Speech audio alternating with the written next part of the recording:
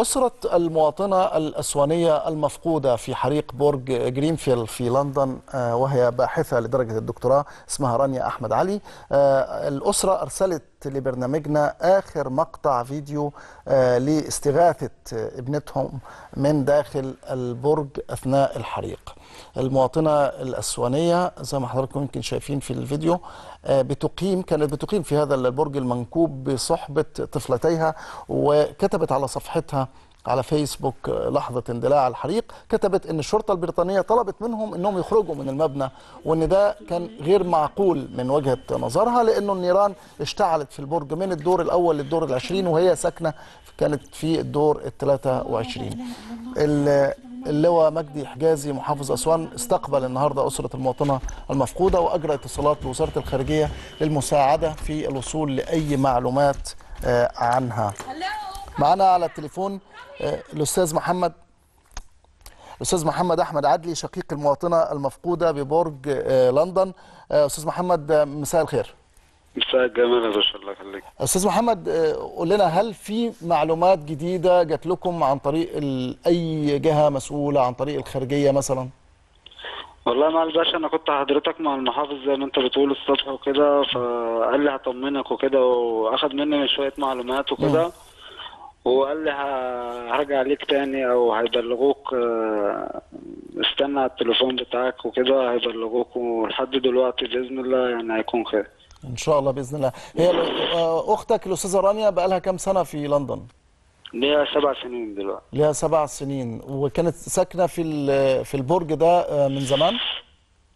ده من فترة قريبة يعني. هي ليها سنة سنتين لسه ناقلة فيه جديد يعني. مهم. والفيديو اللي أنتوا اللي إحنا عرضناه ده دلوقتي آه، كان آه، وصلكم عن طريق صفحتها على الفيسبوك؟ لا أنا الفيديو ده شفته رحت كلمتها. أنا كلمتها بعد الفيديو ده بتاع خمس مرات. كلمتها كلمتها وردت آه. عليك مش كده؟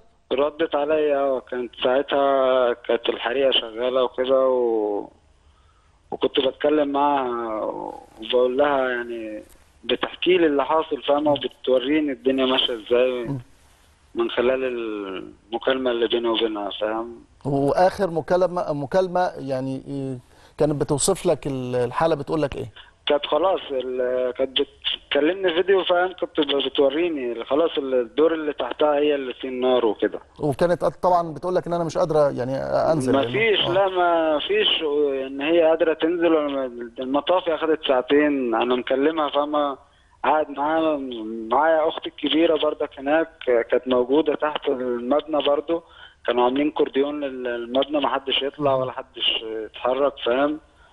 ما فيش مطافي ما فيش الكلام ده فاهم؟ يعني كنت بتابع معاها هي كنت اقفل منيها هي وتابع أختها تحت الك- الكبيرة أختي الكبيرة. كنت بتابع معاها إيه طيب الدنيا جت مطاف عندكم تحت؟ قالت لي كانت بتقول لي لأ وكده. كنت برجع لها بطمنها بالراحة. طيب آه، فاهم؟ يعني خد نفسك مكاني لما تكون أختك مثلا بعد الشر على حضرتك فاهم؟ في الموقف ده فاهم؟ طبعاً. إحساس صعب فاهم؟ أكيد. مش طب عارف أعمل إيه يعني طيب وكانوا أطفالها معاها في الشقه ساعتها؟ أطفالها وكان جيرانها معاها. جيرانها أغلبيتهم ساكنين جنبها. في ناس كبار في السن مسنين وفي شباب فاهم. يعني كلهم مع بعض جيران فاهم؟ فكانوا كلهم فاهم؟ متجمعين في الحتة الأولانية دي. لا مش في هناك في المكان اللي هم فيه. نعم. ما هم ما فيش غير هي بس بتهيألي المصرية. آه إحنا برضو ما سمعناش ال- إلا عنها هي بس آه، المصرية. هو- ربنا ربنا يطمنكم ويطمنا عليها بإذن الله. نسمع أخبار يعني آه، كويسة لأنه طبعا هي في أعداد ال- المفقودين لكن ربنا إن شاء الله كريم وربنا يطمنكم عليها بإذن الله ويطمنا عليها وعلى أولادها اللي هي الأستاذة رانيا أحمد عدلي. وأنا بشكرك الاستاذ محمد أحمد عدلي شقيق رانيا. آه، إحدى آه، يعني المفقودات في أعداد المفقودات في آه، برج لندن اللي شب فيه حريق كبير جدا من عدة أيام.